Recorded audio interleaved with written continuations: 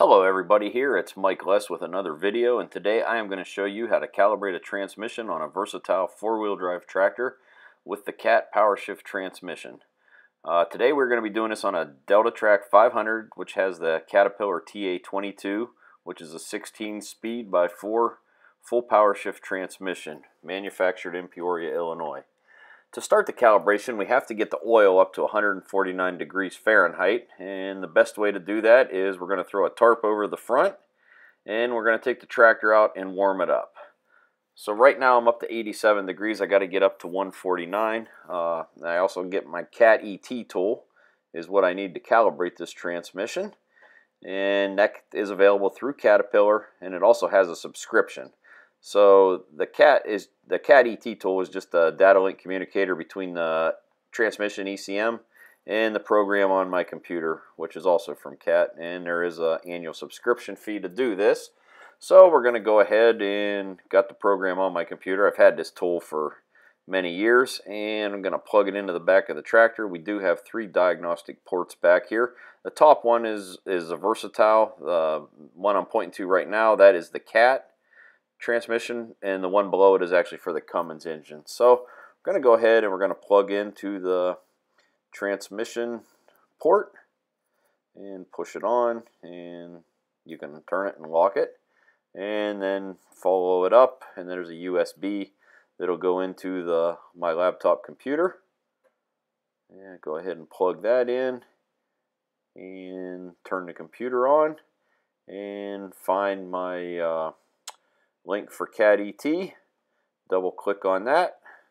It'll ask me a couple questions, tell me tell you how many days you have left in your uh, subscription, and then you get to the service part. So I have to get the oil up to 149 degrees to get into calibration. The program will not let you into calibration uh, unless the oil is at a minimum of 149 degrees Fahrenheit and up to 160 degrees Fahrenheit.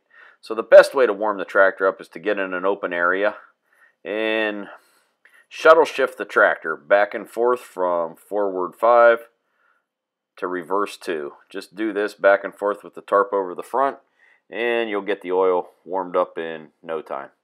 And like I say, I like to do this away from everybody. Uh, that way nobody comes up, tries to jump on the tractor and because it will once you stop moving it will cool down awful fast it's uh, sometimes a chore today it's about 40 degrees out and it's tough to do a calibration when it gets uh, cold. Ideally, about a 75 degree day is the, the best. You start getting up too warm, uh, like a 95, 100 degree day, and then you heat the transmission up so fast during calibration it'll kick you out for being over temp. So play around here for about uh, you know 10 15 minutes shuttle shifting this back and forth I got my computer turned on and just get this oil up to 149 degrees and on a 40 degree day like this, what I'm going to do is I'm actually going to, I can get into calibration at 149, but the first couple clutches, the oil actually cools down pretty fast. And this program will let you get down to 138 degrees Fahrenheit once you're in calibration.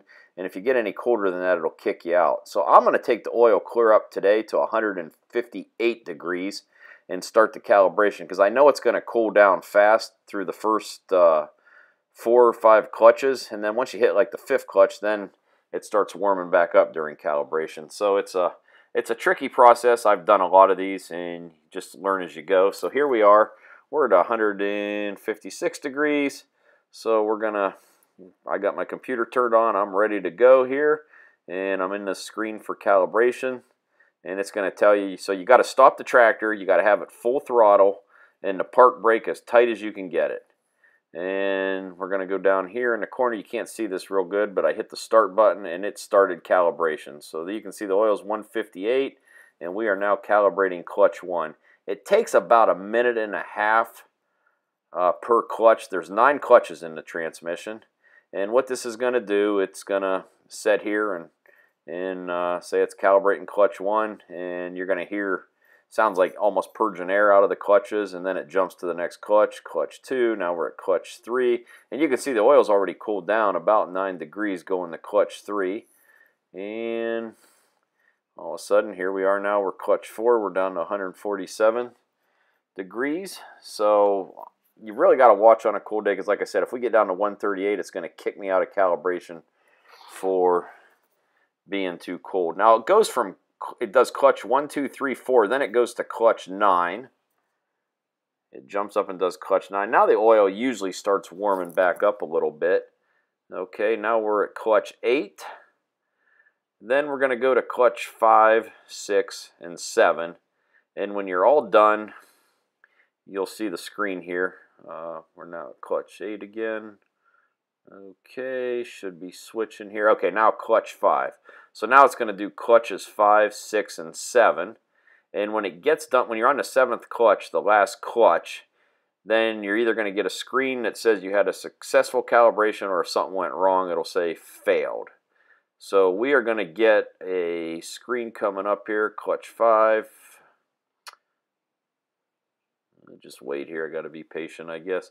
Uh, the thing is, like on a, if it was a real hot summer day, like uh, 95, 100 degrees, what actually happens is I'd have to get out of the tractor and run up and pull the tarp off the front because it'll go over temp and it never fails. You get down to about your last two clutches and you only need a couple more minutes and that oil hits 160 degrees and you get kicked out of calibration for over temp. And there's has, has actually been times on real hot days where you have to get somebody to spray a water hose on the transmission cooler to get through the calibration. So ideally, I really try to do these uh, when it's a little bit cooler, up to about 75 degrees.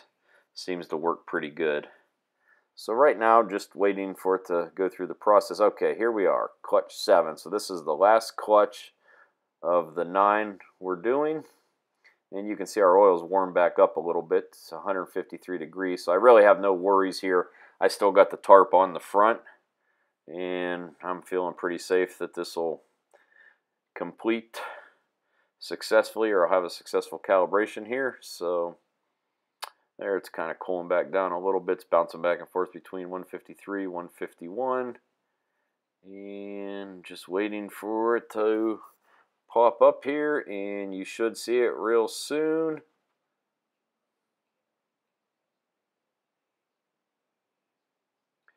Come on.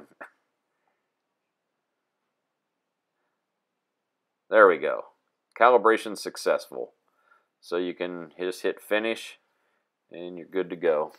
So the procedure is the same for all versatile four-wheel drive tractors. The 450 on up through all the big ones uses the CAT TA22 transmission and the smaller versatiles the 350 375 and the 400 use the cat ta19 transmission which calibration is still done the same using the cat et tool uh, some of the clutch configurations as far as the order of calibration are a little different but it's the same procedure as far as getting your oil warmed up and going through the process and it's a it's a pretty nice tool. I uh, I really like the CAT ET tool. It does a lot of good things and helps you see the history of the transmission and everything. So I hope this video helped and thanks for watching.